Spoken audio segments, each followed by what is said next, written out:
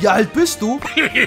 Ein wahrer Warrior weiß sein Alter doch nicht. Warrior haben keine Zeit, ihren Geburtstag zu feiern, weil sie trainieren müssen. Ich bin schon so lange unterwegs auf der Erde. Ich würde schätzen, dass ich so um die 340 bis 400 Jahre alt bin. Durch mein Training gelingt es mir, die Kraft der Jugend aufrechtzuerhalten.